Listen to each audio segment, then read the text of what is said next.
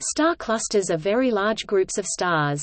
Two types of star clusters can be distinguished. Globular clusters are tight groups of hundreds to millions of old stars which are gravitationally bound, while open clusters, more loosely clustered groups of stars, generally contain fewer than a few hundred members, and are often very young. Open clusters become disrupted over time by the gravitational influence of giant molecular clouds as they move through the galaxy, but cluster members will continue to move in broadly the same direction through space even though they are no longer gravitationally bound. They are then known as a stellar association, sometimes also referred to as a moving group. Star clusters visible to the naked eye include the Pleiades M45, Hyades, and the Beehive cluster M44.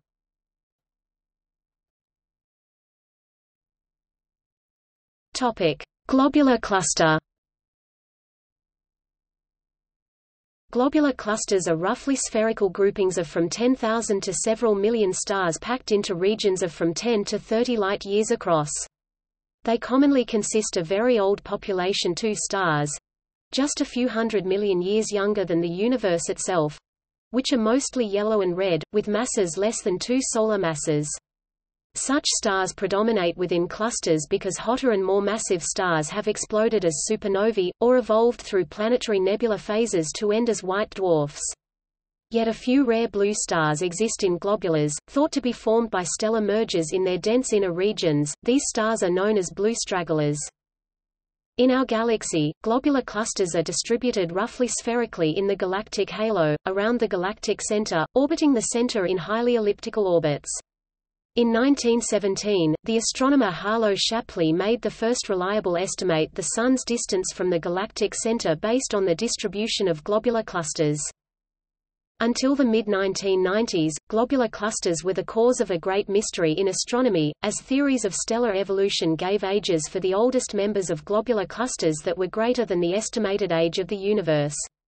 However, greatly improved distance measurements to globular clusters using the Hipparcos satellite and increasingly accurate measurements of the Hubble constant resolved the paradox, giving an age for the universe of about 13 billion years and an age for the oldest stars of a few hundred million years less. Our galaxy has about 150 globular clusters, some of which may have been captured from small galaxies disrupted by the Milky Way, as seems to be the case for the globular cluster M79. Some galaxies are much richer in globulars. The giant elliptical galaxy M87 contains over a thousand. A few of the brightest globular clusters are visible to the naked eye, with the brightest, Omega Centauri, having been known since antiquity and catalogued as a star before the telescopic age. The brightest globular cluster in the northern hemisphere is Messier 13 in the constellation of Hercules.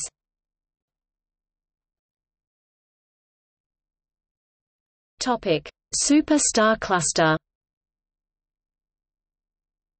Super star clusters are very large regions of recent star formation, and are thought to be the precursors of globular clusters. Examples include Westerlund 1 in the Milky Way. Topic: Open clusters. Open clusters are very different from globular clusters. Unlike the spherically distributed globulars, they are confined to the galactic plane, and are almost always found within spiral arms. They are generally young objects, up to a few tens of millions of years old, with a few rare exceptions as old as a few billion years, such as Messier 67 the closest and most observed old open cluster for example. They form from H2 regions such as the Orion Nebula. Open clusters usually contain up to a few hundred members, within a region up to about 30 light-years across. Being much less densely populated than globular clusters, they are much less tightly gravitationally bound, and over time, are disrupted by the gravity of giant molecular clouds and other clusters.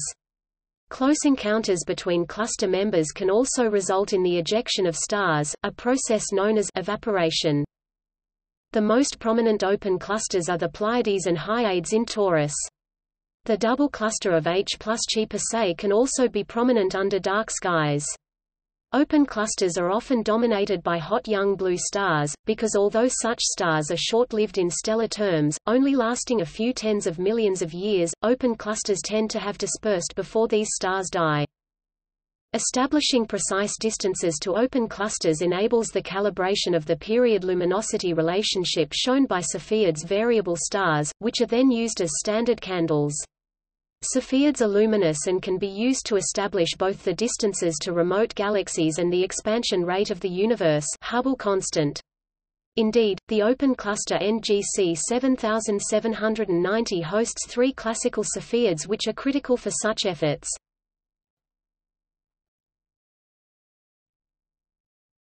Topic: Embedded clusters. Embedded clusters are groups of very young stars that are partially or fully encased in an interstellar dust or gas which is often impervious to optical observations. Embedded clusters form in molecular clouds, when the clouds begin to collapse and form stars. There is often ongoing star formation in these clusters, so embedded clusters may be home to various types of young stellar objects including protostars and pre-main sequence stars. An example of an embedded cluster is the trapezium cluster in the Orion Nebula. In Rho Ophiuchi cloud L1688 core region there is an embedded cluster. The embedded cluster phase may last for several million years, after which gas in the cloud is depleted by star formation or dispersed through radiation pressure, stellar winds and outflows, or supernova explosions. In general less than 30% of cloud mass is converted to stars before the cloud is dispersed, but this fraction may be higher in particularly dense parts of the cloud. With the loss of mass in the cloud, the energy of the system is altered, often leading to the disruption of a star cluster. Most young embedded clusters disperse shortly after the end of star formation. The open clusters found in the galaxy are former embedded clusters that were able to survive early cluster evolution.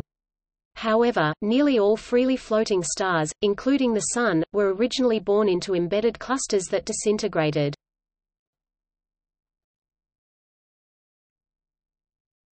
Topic: Intermediate forms. In 2005, astronomers discovered a new type of star cluster in the Andromeda Galaxy, which is, in several ways, very similar to globular clusters although less dense. No such clusters which also known as extended globular clusters are known in the Milky Way.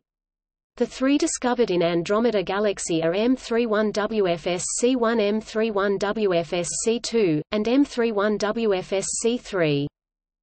These new found star clusters contain hundreds of thousands of stars, a similar number to globular clusters. The clusters also share other characteristics with globular clusters, e.g. the stellar populations and metallicity. What distinguishes them from the globular clusters is that they are much larger, several hundred light-years across, and hundreds of times less dense. The distances between the stars are thus much greater. The clusters have properties intermediate between globular clusters and dwarf spheroidal galaxies. How these clusters are formed is not yet known, but their formation might well be related to that of globular clusters. Why M31 has such clusters, while the Milky Way has not, is not yet known. It is also unknown if any other galaxy contains this kind of clusters, but it would be very unlikely that M31 is the sole galaxy with extended clusters. Another type of cluster are faint fuzzies which so far have only been found in lenticular galaxies like NGC 1023 and NGC 3384. They are characterized by their large size compared to globular clusters and a ring-like distribution around the centers of their host galaxies. As the latter they seem to be old objects.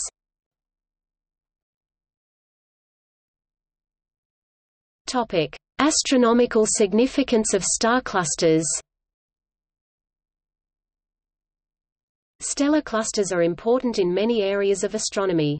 Because the stars were all born at roughly the same time, the different properties of all the stars in a cluster are a function only of mass, and so stellar evolution theories rely on observations of open and globular clusters.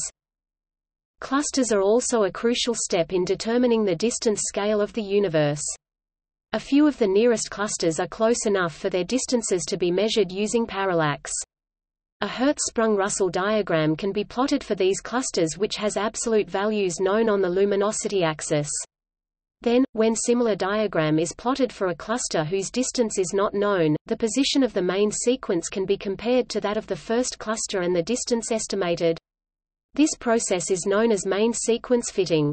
Reddening and stellar populations must be accounted for when using this method. Nearly all stars in the galactic field, including the Sun, were initially born in regions with embedded clusters that disintegrated. This means that properties of stars and planetary systems may have been affected by early clustered environments. This appears to be the case for our own solar system, in which chemical abundances point to the effects of a supernova from a nearby star early in our solar system's history.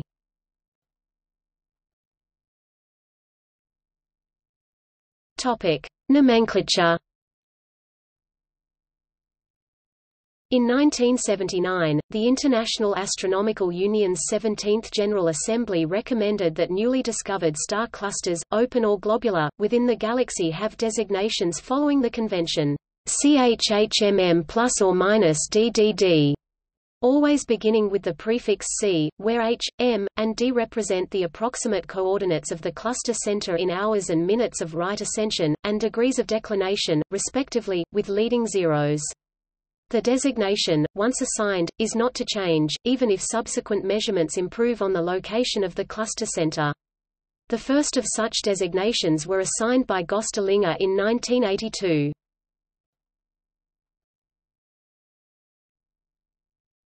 Topic. See also Hypercompact stellar system Open cluster and globular cluster Protostar Robust associations of massive baryonic objects RAMBOs Notes